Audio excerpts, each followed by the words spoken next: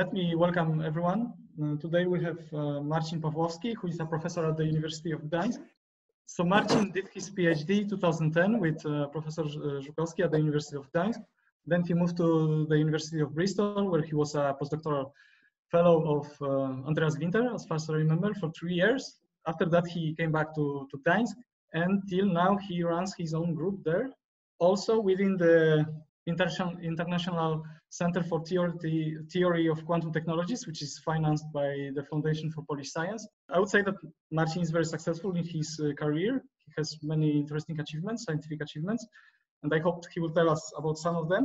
But uh, maybe the most interesting thing that I learned recently is that he is a co-founder of a startup who is going to manufacture quantum devices producing random numbers.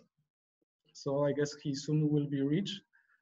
And today he will tell us about uh, generation of random numbers uh, uh, by using quantum systems. Okay, Marcin, you can start. Okay, thank you. Thank you for inviting me to give this seminar. It's always a pleasure. I wish I could be there in person, but these are interesting times, so I'm here instead. And uh, as uh, Remik said, I'm uh, currently working at the International Center for Theory of Quantum Technologies, and uh, I'm a group leader there. And my group is, in my opinion, has, in my opinion, the best name ever. It's Quantum Cyber Security Unit. It sounds very science fiction, but it's uh, we are in uh, 20, uh, 2020, so this is actually what we are doing right now. There's nothing futuristic about it. This is just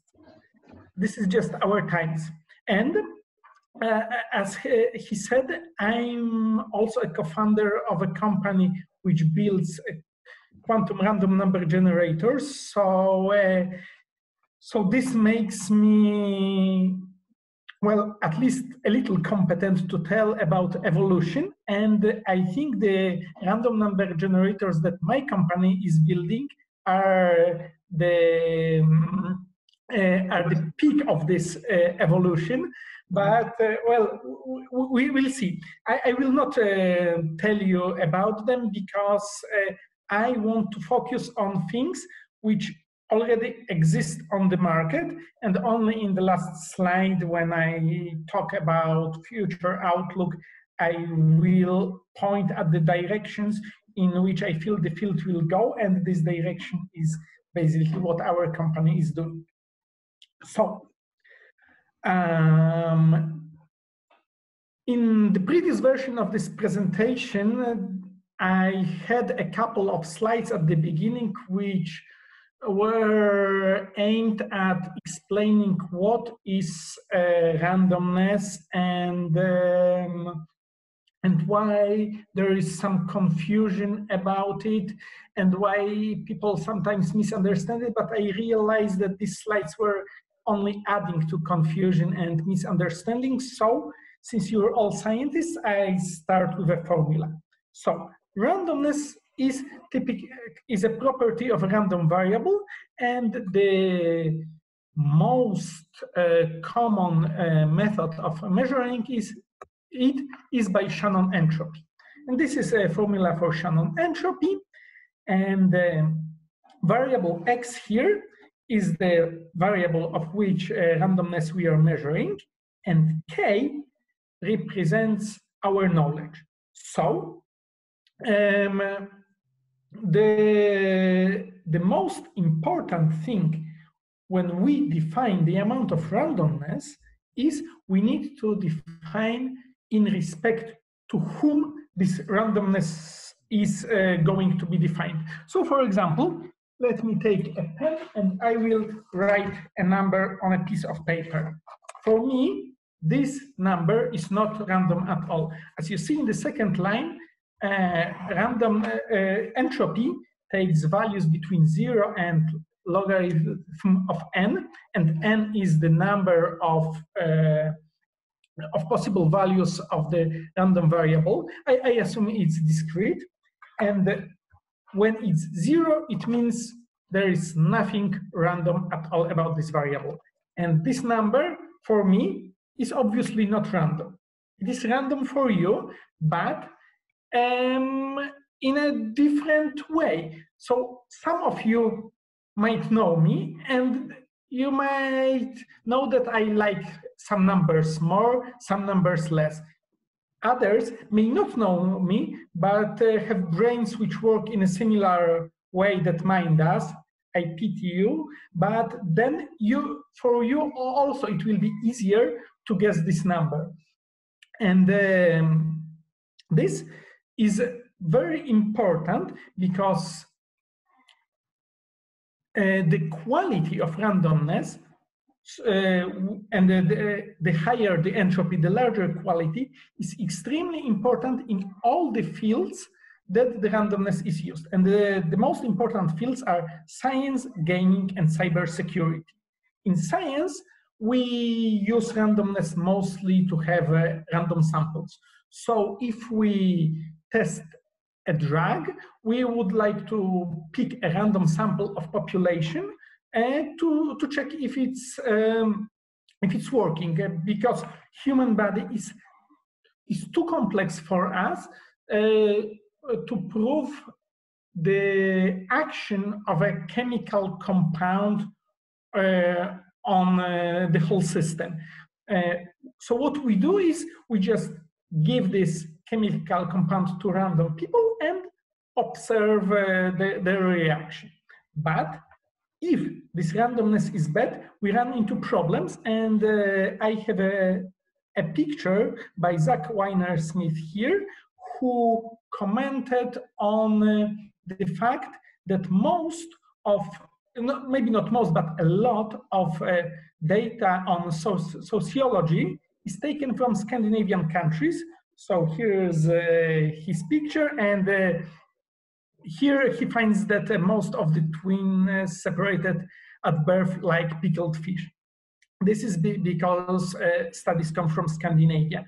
And this is how uh, bad randomness can lead to bad results in science. In gaming, the situation is similar. I have a photo here uh, of uh, Robert uh, Mugabe. He's a, a president of Zimbabwe who recently won the top prize in, in state-run lottery.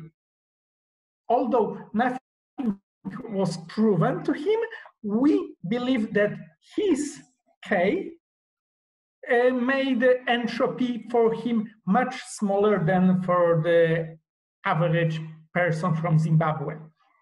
And for, for cybersecurity, I don't have any picture because basically the rest of the presentation is about, uh, about what happens if we have bad randomness in cybersecurity and how to guarantee that uh, the quality of our randomness is good. So, um, why randomness is important? Uh, let, let me quote uh, Sun Tzu, uh, the famous uh, military leader and philosopher from China.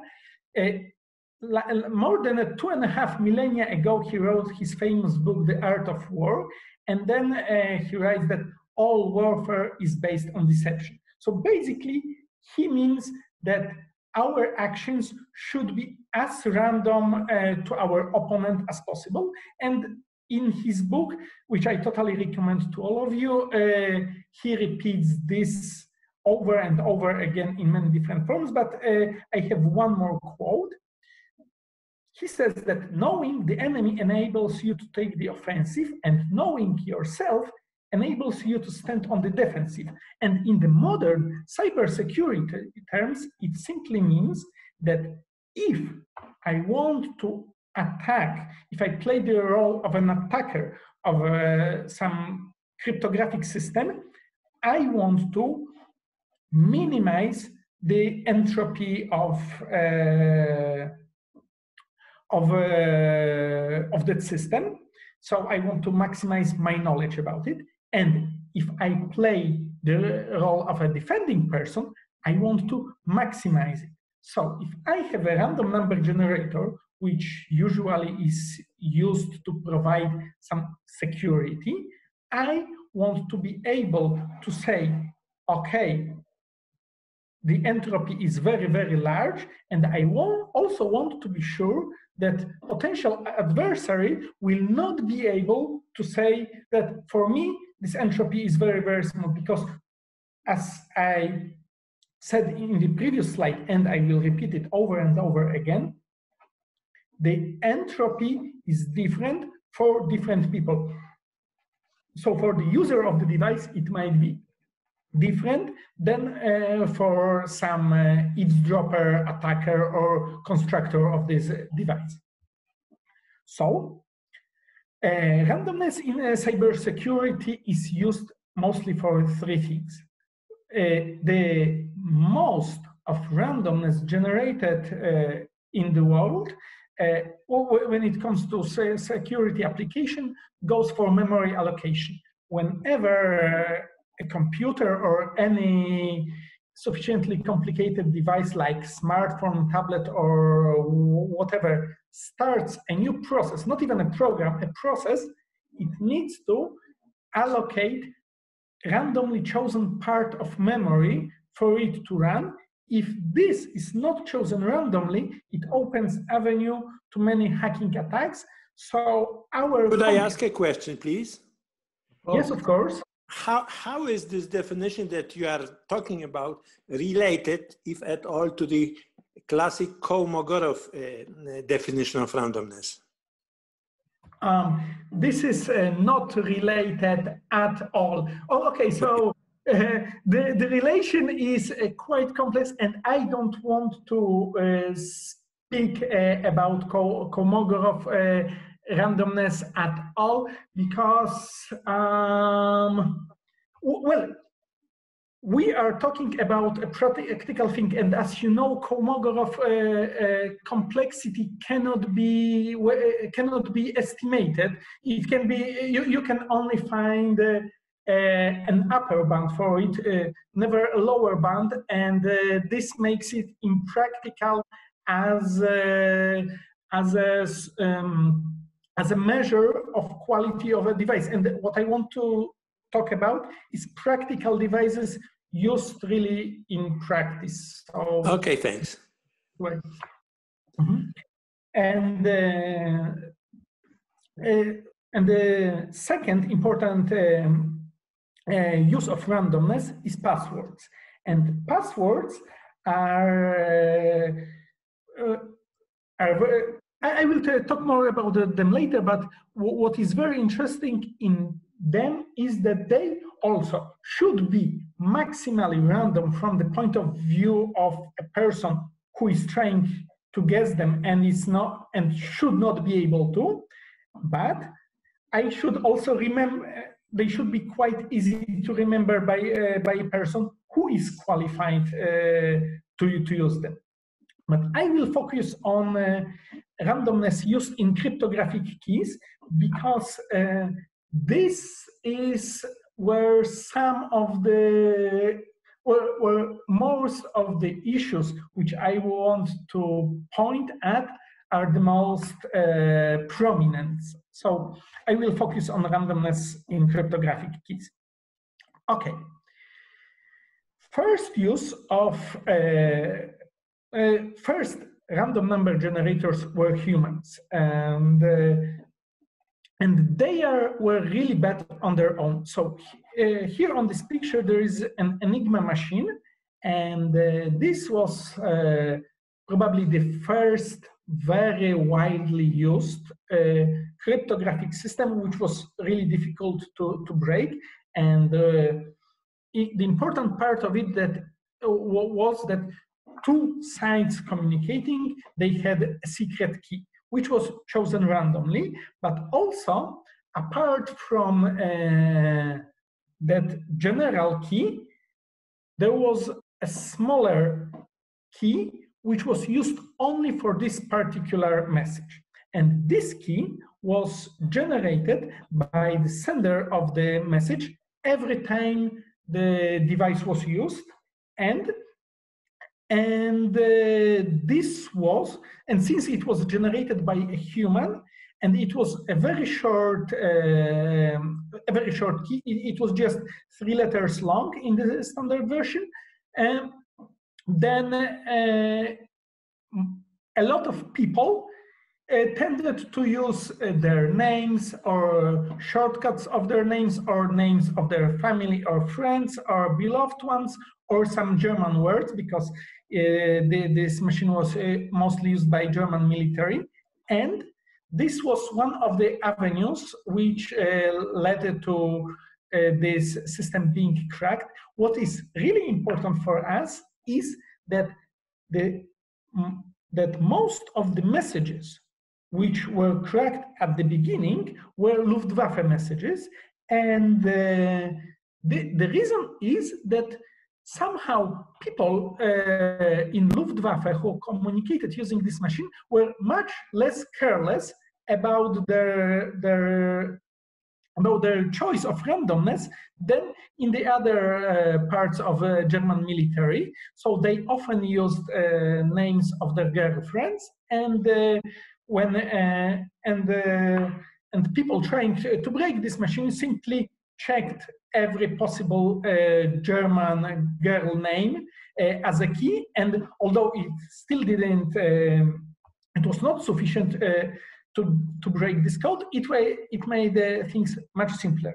So this is one of the important things about humans as sources of randomness. Some, um, some choices of numbers and letters that we make will be more probable than the others. So, um, uh, so for, for, for example, uh, some people, I, I don't, I, I was not able to find them. Yes.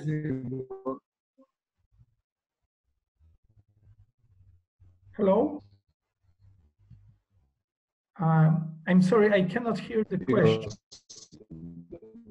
The problem was not that they were using. Okay, Marcin, I think you can continue, and uh, because there is a problem.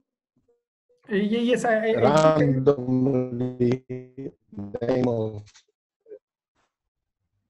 I, I, I'm sorry, I think I will continue because I cannot hear the question. Maybe the best to write it in the chat and then somebody will talk. Uh, yeah, yeah, yeah, yeah, yeah, yeah, yes. Let's do it uh, like this. And uh, uh so, so uh, as I was saying, and I can hear you very, very badly. Now you can hear better? No, there is still some problem. Lech, can you write your question in the in the chat? No. Oh. So maybe Marcin, can you continue? Oh, oh okay, let, let, let, me continue then. So, uh, so as I say, humans are are better sources of randomness on their own, and uh, and uh, some numbers in lotteries are, uh, are seen to be more frequent than the others when, when chosen by people. So if you play Polish Lotto, mm -hmm. some people, when they are asked to choose numbers, they will choose some numbers with bigger frequency and some with lower, and the, some, and the, uh, a lot of numbers will be omitted. But the thing is that another group of people will choose different numbers. So uh, if you look at the aver average uh, probability that a number is chosen in Poland by a person, it's more or less the same for every number. But mm-hmm. uh, surprisingly, people are really, really good at uh, generating randomness where, when they are augmented with uh, some device like dice or or choosing a ball from a pot or or anything like this it's there there will be still some uh, patterns but they will be very very difficult to detect. So so humans are not that bad at randomness but the problem is in this, uh, with this is that they are always very slow. So computers right now, when I'm talking, my computer is constantly generating randomness for various purposes. And if I were to uh, roll dice and uh, and input this uh, randomness for my computer's purposes, I wouldn't be able to keep the speed if, if, if it was the only thing I were doing. So, so using humans as random number generators is highly impractical. Uh, and there, therefore, just after Second World War, uh, after the failure of randomness in Enigma, people started to use uh, first physical random number generators which didn't have a human component. And the first uh, case, up to, to, my knowledge, is uh, Rand's uh, program from 1947, uh, in which they used a, a, device which they called electronic uh, roulette. And uh, this was just an electronic circuit designed to mimic the action of a roulette. And they generated a million random digits, which they publi- published in a book, and uh, you can buy it. It's actually now you can buy it on Amazon, and I and I actually recommend uh, going to the to Amazon and reading the user uh, reviews of this book because some of them are quite hilarious. Uh, what is also interesting about this book is that it was probably the first uh, ebook in history because already, I think in 1955, uh, there was an, an edition on it of it on punch cards so that people could enter these punch cards into early computers and uh, random, randomize their, uh, their action. But the problem with this is that this randomness, it's, it's, it's actually very good randomness. Uh, we used uh, recently state-of-the-art uh, techniques to check how random these numbers are, and, and they are they, they are okay for, uh, for our current uh, cybersecurity needs. But this is public. So it's perfect for uh, say, scientific purposes. And actually, this book played uh, uh, played a, a, big role in uh, scientific uh, research in 20th century. But it's not good for cryptographic purposes because if I use uh, some num uh, say numbers from this book as my security key, then somebody else who has access to this book can use this too. But that person has to know uh, which um, uh, that, I'm using this book, and this is not always the case. So I want to mention about um, uh, about a, let's call it a doctrine or a, a, a dogma um, of security through obscurity. So usually if I want my protocol to be secure, I will not announce what protocol I'm using. So not only I will keep my key secret, but I will try to keep uh, the, the method of encrypting and decrypting data as secret. This is nowadays it's not uh, commonly used, uh, at least not in uh, private sector, but still uh, high security agencies like military or uh, intelligence agencies, they they uh, they still use this method, and and if I am fairly certain that nobody knows my uh, cryptographic protocol, then I am able to use public randomness from public sources. And um, therefore, uh, there are these uh, let's call them objects, uh, which are uh, which are called randomness beacons. These are sources of randomness which are available on internet.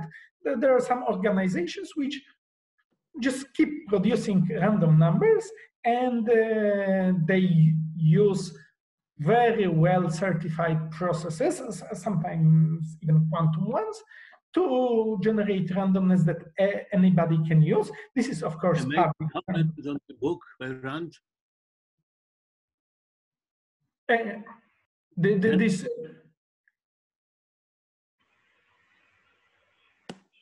Um, you, you are we allowed to ask the question during a seminar or not? Yes, you're allowed. Yes, yes.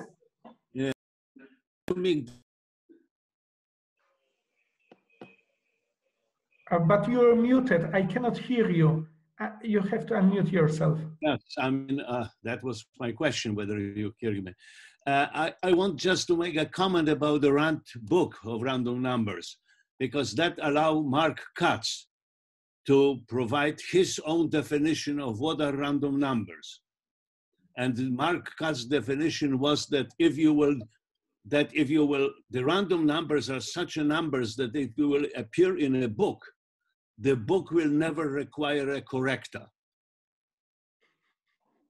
That was a Mark Kac definition of random numbers, and that uh, I believe was in in relation to this Rand book because Mark Kac was involved in publication of that book.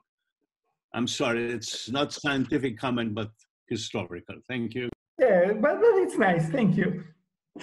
Could I, Okay. could I add to it? I was uh, uh, present at the lecture of Mark Kac back in 1975. He, uh, he said exactly what Łukasz has said, but then added, and can you imagine, I've got some random number uh, books with errata. Exactly, exactly. I mean, but that would spoil my argument, so I didn't add it. I'm sorry. Okay, let, let, let, let me go further. So, uh, after this uh, first electronic roulette uh, in uh, 20th century, people started to, to develop more and more uh, random number generators, and uh, they were aimed at producing private randomness.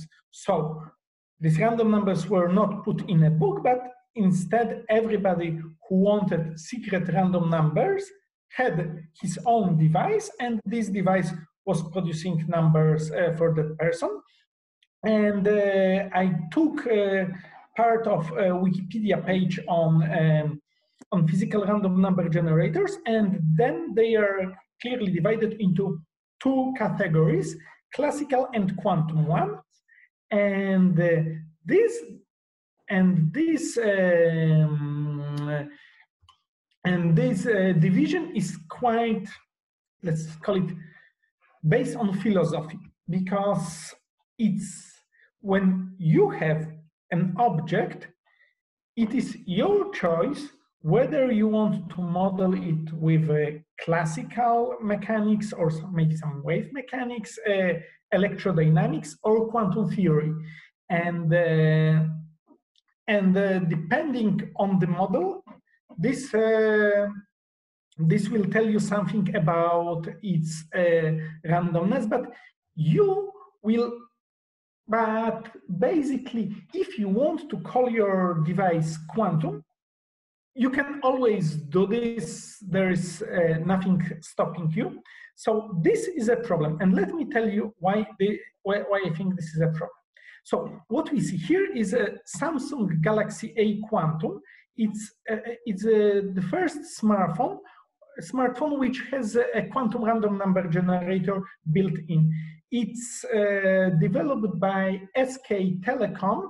This is a South Korean uh, company which recently acquired uh, shares in ID Quantique. This is a Swiss company which uh, was one of the first companies which started to produce quantum random number generators.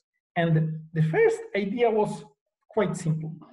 So there is a laser, laser, there's a mirror uh, in the middle, and this mirror is, is basically a beam splitter. So it, it has a property that half of the photons passes through the mirror and half of uh, them gets reflected. And then I have uh, two detectors, and if I send one, I'm in, in the perfect case, I'm going to send one photon. I assume it will not be lost. The, uh, the geometry of this picture is completely wrong. Um, What, what is on the right should be up, above. um, oh, oh, oh, okay, I'm sorry. I, I drew this picture and uh, I'm and I'm a theor theoretician. I don't know how mirrors work really, but um, uh, but, but please, please forgive. Let, let me continue. And uh, then if uh, if one uh, detector uh, registers a photon, then the outcome uh, is zero. If the other, the outcome is one. And we, we repeat this over and over again to generate string of random numbers. But then people who were building this device, engineers, thought, okay, we don't actually need two detectors because if one registered a photon, then we know it's not at the other. And if one didn't register in a photon, we know it went the other way, at least in the perfect case. So they changed the idea to the following. And then uh, they, and this was actual, and actually already this was sold in commercially available devices, but then next generation of commercially available devices looked like this. But then people said, okay, in fact, there are losses in the beam.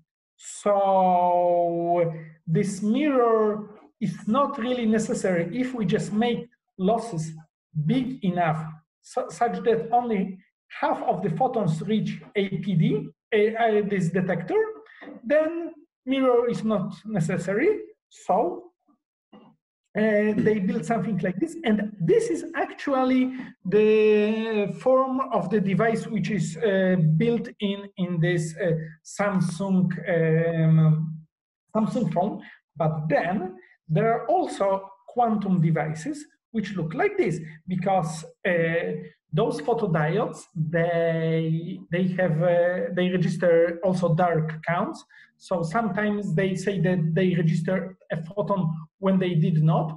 So so basically we don't need a laser diode at all.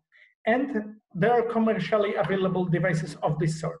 But then if you see the second point in the classical uh, random number generators basically this is just noise in the photodiode.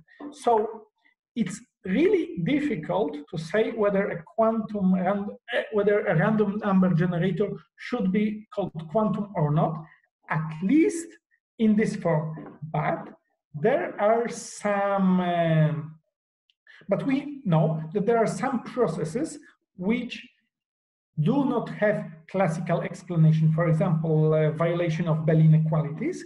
And therefore, if a device demonstrates that such a process happens there, they, only then they, they can be called purely quantum. And why, why, I, why I'm uh, very particular about... Can I, can I, interrupt again and I say that, hmm?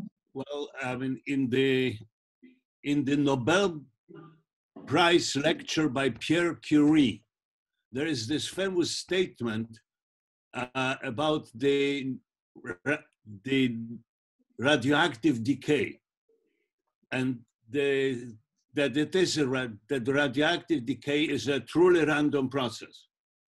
And by the way, this is this famous statement in the lecture, uh, Nobel Prize lecture by Pierre Curie, saying that this idea is only due to the Maria Skłodowska-Curie, because both gentlemen, Pierre Curie and uh, uh, his mentor, were afraid to say such a hearsay at the beginning of the 20th century. So we have a definition of a quantum random noise, it's a radioactive decay.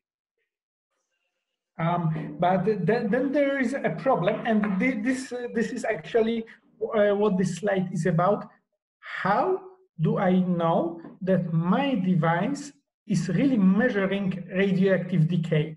This I can be fairly sure if uh, I actually build this device. But if I bought it from a source which I do not trust, it can uh, do anything. And uh, this, and actually rigging, uh, uh, rigging random number generators is uh, one of, uh, is basically the most common vector of attacks on cryptographic systems. So let me show you an example. this uh, thing is a Intel's Ivy Bridge processor, and it's first processor uh, for a classical computer, which had an inbuilt physical random number generator as a separate part of the whole processor. Uh, it was uh, supposed to generate numbers uh, basically by measuring thermal noise of the rest of the processor. Uh, but then some researchers showed that if you take this part of processor and it's it's built of billions of transistors and then you change dopant levels in only a few of the transistors then this will be not possible to detect at all. But then, if you do this, then the behavior of the machine will look random, but will not be random to that person who changed the dopant levels. So if um, um, this uh, this processor is manufactured in some uh, uh, in some factory somewhere in Asia where a malicious party can enter and change the behavior uh, of the robot which is actually building this, it will be almost impossible to detect. Even under microscope, a modified device looks exactly like unmodified device, and this is not secure. And uh, also, uh, well, since I'm talking about vendors do not sh who should not be trusted, let me go back to the Enigma machine and uh, remind you that after the Second World War, it was sold by the British to many of their former colonies who, uh, under the pretense that it's still secure and uh, for example, India was using it until 70s and its government communications were totally transparent to the British. Also, uh, in uh, one of the leaks of Robert Snowden, he points out at uh, a scheme by American National Security Agency who designed a pseudo-random number generator which they only could crack and then pay, they paid RSA Securities, the biggest security company in the world, to you set it as a default in their devices. And also, uh, quite recently, there, there was this uh, whole affair with uh, Huawei um, installing backdoors in their routers. So we should not trust uh, the device, especially if we didn't build it ourselves. And the other problem is entropy estimation. So if you have a, source of um, ra randomness, it's never perfect. And the, the randomness is never actually really good. So in order to have uh, uh, to have random numbers with uh, nice properties, for example, the same frequency of zeros and ones, we use randomness extractors. So we take uh, entropy, uh, we, we take some random sequence with low entropy, we add some extra randomness, which can which can be public randomness. Uh, the important thing is, is that it should be independent from the source. So we can use, for example, two independent random numbers generators. This, this is what is typically done in high security applications. And then we get good randomness. But this randomness extractor is nothing, uh, nothing more than a function. And this function, to work correctly, it needs as an input h. h being the quality of randomness.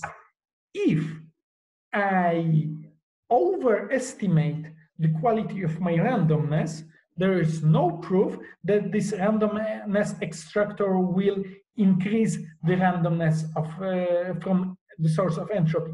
Actually, it might decrease it. So this is what happens. I have uh, I uh, oh I, am sorry I lost the title of the paper, but I have DOI, so you, you can check it.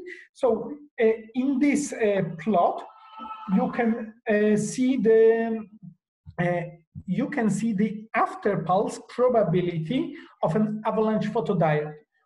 So if I have a detector like in this previous case, my mm -hmm. avalanche photodiode is supposed to produce a sequence of zeros and ones.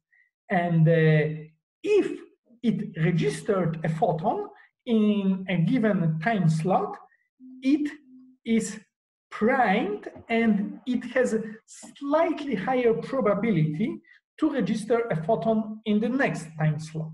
And, um, and the people who design uh, uh, who design uh, random number generators take this into the account and you uh, when they estimate the entropy and then onboard randomness extractors use this entropy uh, you, you, you use uh, use this entropy estimate to amplify randomness but then in uh, one of the commercially available devices, they only looked at one preceding pulse.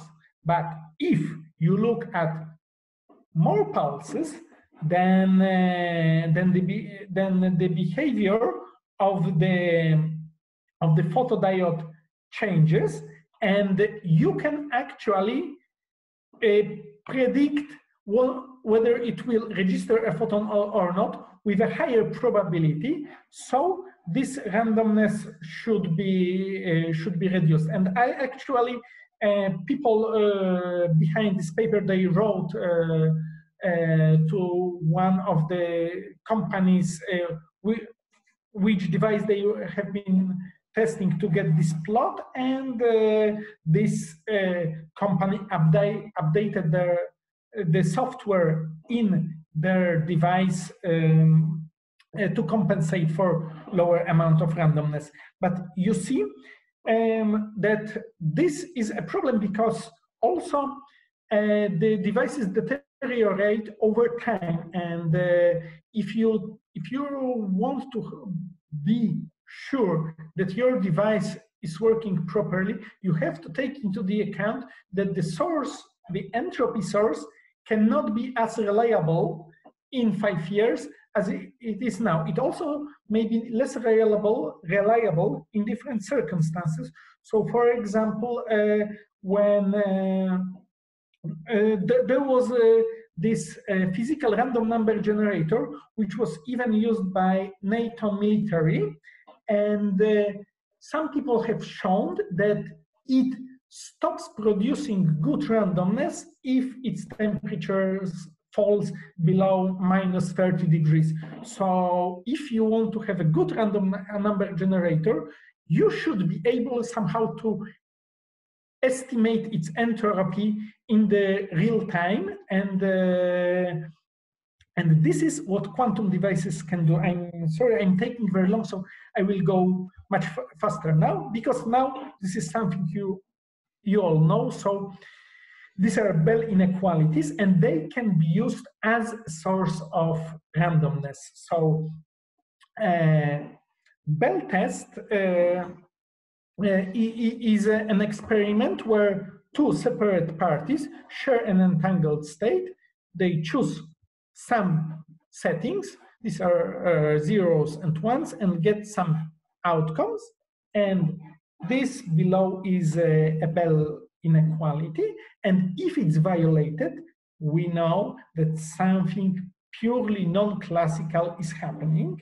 And in this paper, they have shown that this can be used uh, for um, generating random numbers and also that the uh, that the oh I'm sorry that the uh, entropy uh, depends on, uh, on the violation of Bell inequality. Note that um, here what they estimate is not Shannon entropy, but min-entropy, which is, uh, which is better for uh, uh, some other uh, purposes of estimating randomness, but let, let, let's not go into this. So uh, what they show is that as long as you violate Bell inequality, we know that the outcomes cannot be random, uh, must be at least a little random. And the important thing is that we do not need to assume anything about the devices which were used. We only look at probability distribution, which is uh, very convenient because now one device can be supplied by Huawei, the other by American NSA, and even if they collaborate, there is nothing uh, they can do to learn our uh, our random numbers. Um, and then also, um, but, but uh, I also want to point out point uh, to a thing that in order to estimate this um, Bell inequality, you need to input some randomness because in order for this to work, x and y have to be random. So it looks like a circular argument because you need randomness to produce randomness. But there are uh, two things. First of all, x and y can be public randomness. So any randomness generated after these devices was built and independent from the states can be used and uh, we don't care if anybody finds this out. Randomness in X and Y will be independent of randomness in A and B. So this is um, this is uh, very very nice, and also we need much less randomness for X and Y than we get from A and B. So actually, we can feed back randomness generated here back in this device and keep it going. It's not, right now I'm a little oversimplifying, but if uh, somebody is interested in this process, I can talk about this later. And also, if we have only access to bad randomness for X and Y, Bell tests can be used to amplify the quality of randomness. And this is a process which was shown to be impossible in a classical uh, case. So this is one of the things, uh, uh, one of the cases where quantum theory really gives us advantage over classical ones. And let me quickly uh, now advertise one of my papers. This is one, uh, I think one of my favorite papers because the result is quite funny we show there that it is in principle possible to have secure cryptography without, without any randomness at all, which was thought to be impossible. But we point out to, to the thing, thing that if a message that I want to communicate to you is already known by the adversary, then there is no point in adversary attacking this. But if it is not known by the adversary, then from her point of view, and this is the only thing that counts for, uh, uh, for security, there is some randomness in it. So here in this paper, we show that there exists a protocol which will take my message as a sort of randomness, generate the key to uh, in, with which this message will be encoded and sent, um, and this can be used for secure cryptography. So, and this also shows that humans, and this is humans who generated this message, can still be used as sources of randomness even in uh, quantum cryptography. Okay, now I, I, I, I, see that I don't have much time, so uh, let me quickly tell you about semi-device independent protocols. These are protocols which we invented uh, to, uh, to cope with the problem that uh, using Bell tests is uh, very time and uh, money consuming. So they, these devices are slow, big, and expensive, and this is not what we need. So with in semi-device independent protocols, you also don't want to assume much about your devices. You only choose uh, to, build, to make one small assumption. The first idea was to assume that the Hilbert space dimension of the communicated system is bounded from above and uh, we, we first use it for quantum cryptography, but later we found that it can be also used for randomness generation.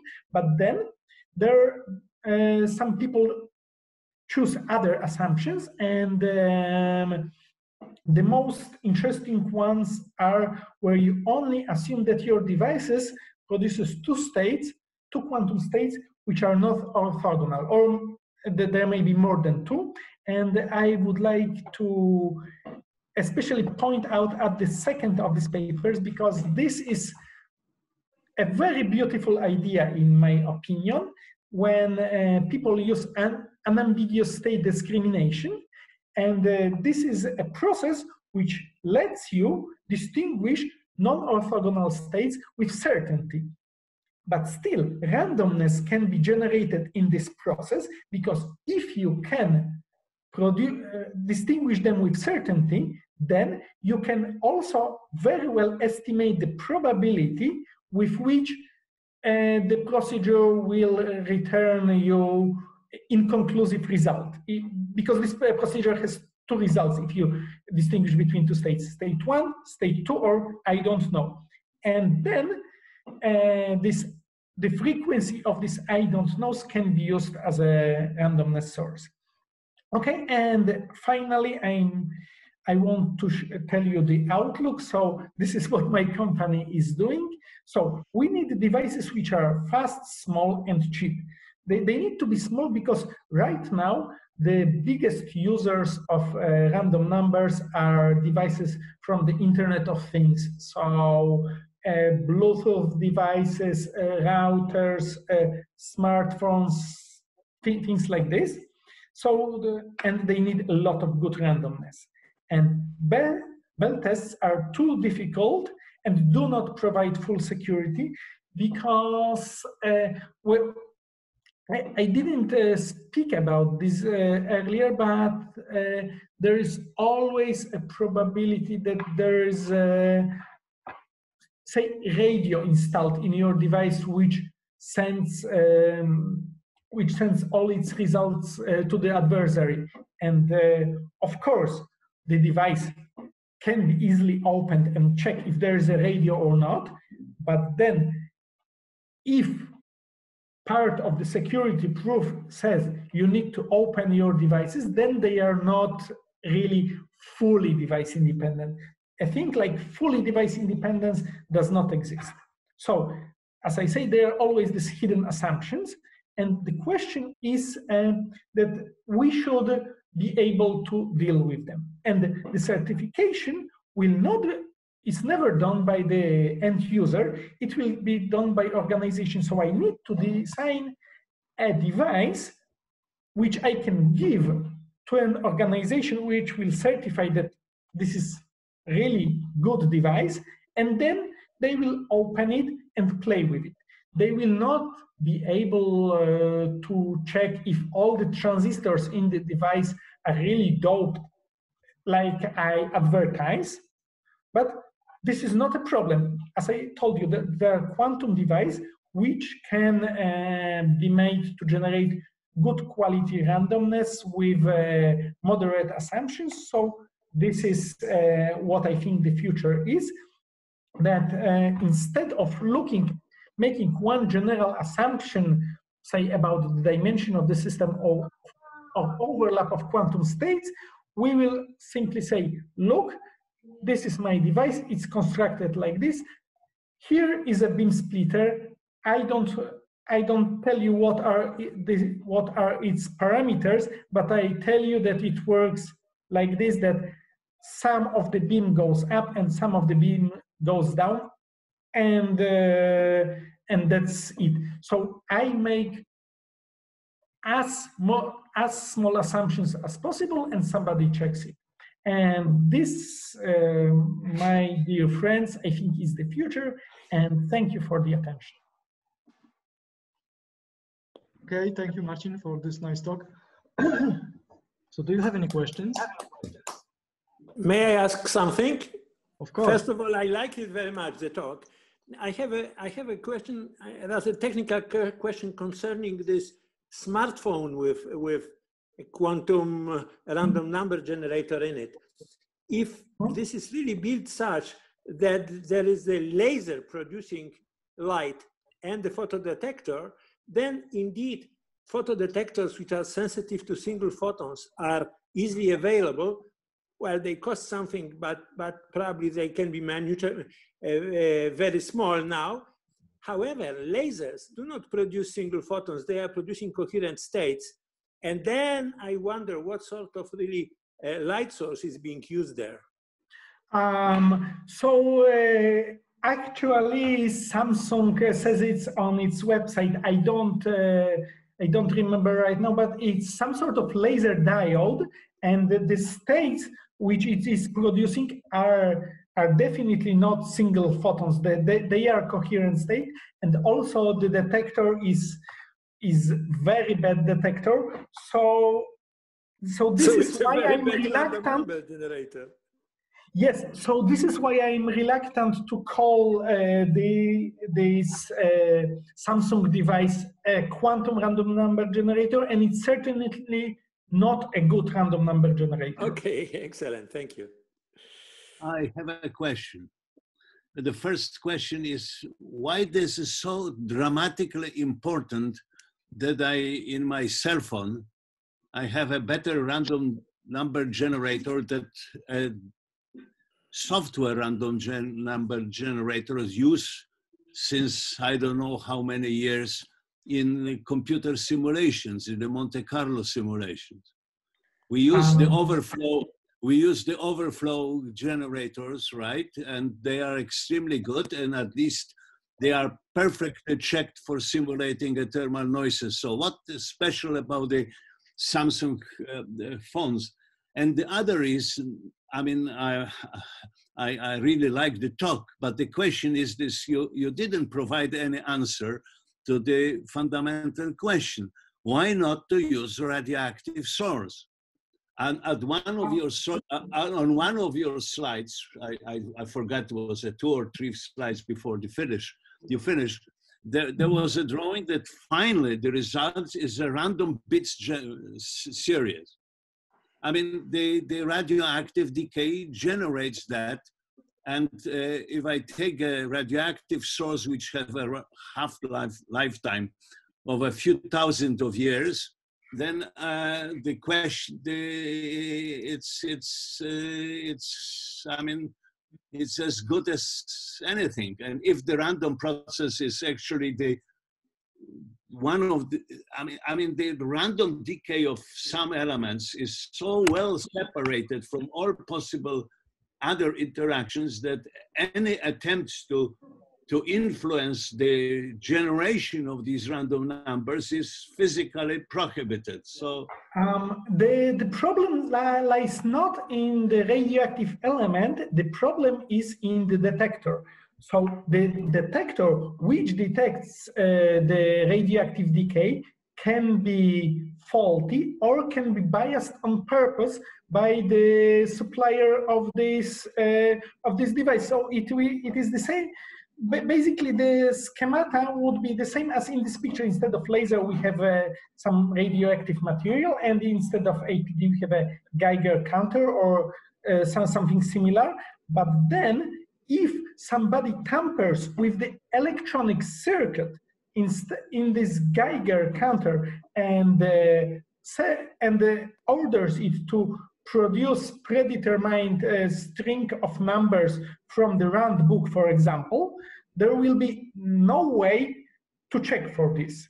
And, uh, and uh, the problem is that this sort of attack is actually quite uh, common.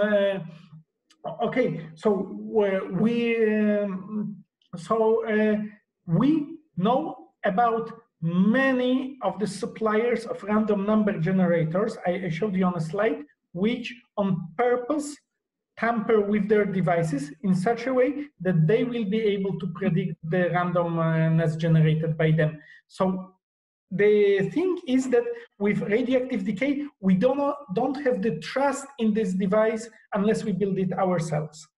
But I disagree with this argument. I mean, the vendors can be unfaithful, I mean, manufacturing whatever device. I Uh, mean, uh, uh, I mean, no, you, are, you- you're, that, you, that you are opening or you are running a company which will make the random number generators.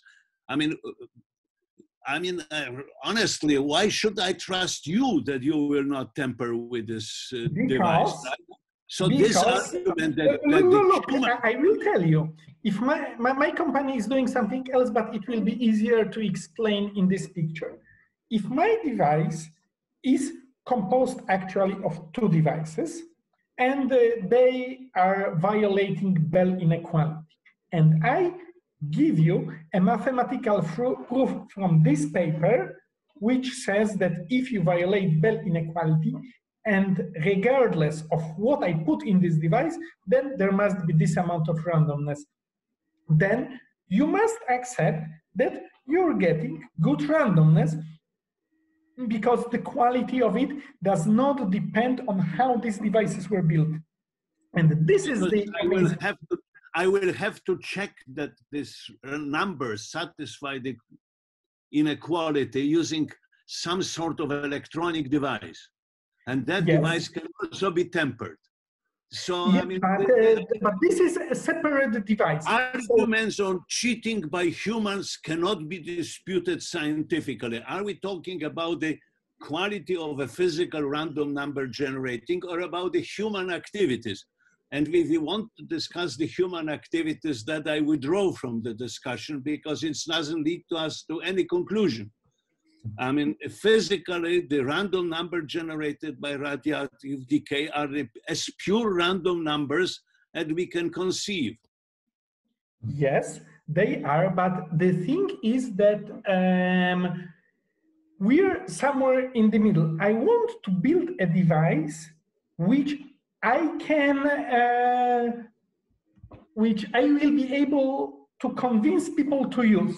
And this is a little like this is marketing problem uh, of sorts, but we know that uh, these devices, which are based on Bell inequalities or or this semi-device independent approach, um, they at least will make uh, putting backdoors or using Tro- Trojan horse attacks several orders of magnitude more difficult for the potential attacker than uh, than the ones uh, that we are cur- currently using, and that's that's it. So we are talking, so we are talking about the human activity, not about physics.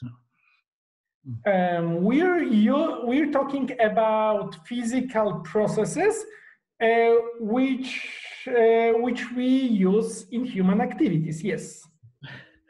Łukasz, I think that you missed the point because uh, we are talking about building uh, random uh, number generators.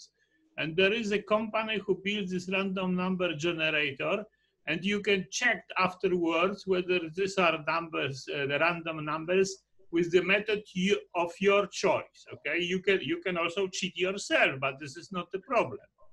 But the problem is that you have to check that this is random number and they are not cheating in the way you can discover this in this way you are you are so this for your purposes it's enough so this is the problem so we are not uh, speaking about uh, generating random numbers but about building random number generator May I ask a question? Of course, yes, please. Um, just about the discussion between generating photons and detecting photons and getting some digital output which can be used for something, you need some interface. That interface may be attacked. I mean, your generator may be physically fine, but how you can assure that what you are, the stream you are generating is indeed the stream which comes from photons and not from some tampering in between? Um, if I have a Bell inequality, I don't really care if this, if uh, these numbers I can use to violate Bell inequality, I know that they are random and and uh, and I don't care who and how produced them. I, I, I really don't need this. So I don't even, uh, so I don't even need to know if uh, I have photon detectors here or maybe I use some sort of entanglement between different types of particles. I, I don't really care and I don't care about any point in information processing. I only care about random variables a, b, x, and y. So how you can convince customer that he is getting? Um, so I just show them uh, the proof from this paper and uh, actually maybe not this paper because there are some other papers where the proof is much easier and it's basically like 10 line proof which tells you okay if you violate this Bell inequality, then you get randomness and that's it. It's no, mathematics. That, that I understand, but you have a device, device mm -hmm. to customer. Customer can do anything with a stream of uh, bytes which is get mm -hmm. from the device. How you can convince him on that level? I mean, uh, classical random number generators just run all sort of uh, Maurer tests or any other tests to look for correlations in generated bits. And mm -hmm. they do it most of the time. Several three letters agencies spend a lot of computer time on that. How you can convince your customer with your device on that level of protocol? Uh, so actually, this device also passed this uh, these uh, classical tests of randomness, but here the, the, the problem is, is different. I, I just tell them, look, if you get, if you have two separate pieces of the device which are not communicating to each other, so you can put a slab of lead between them and make sure that they are not communicating. And you can test them by choosing X and Y randomly on your own. Then, if you violate Bell inequality, then mathematics tell you that, that A and B are random, and moreover, here's a plot which tells you how much randomness there is. And that's it. I'm, I, I wish I had a slide here with uh, the derivation for, because this green curve uh, can be re really derived um, uh, analytically in just a few minutes, but I don't have it right now. But this is just a simple calculation. Okay, okay. so let us thank again Marcin for a nice talk. And thank you for inviting me. thank you. Thank you. Thank you. Okay. Bye then. Thank you. Bye.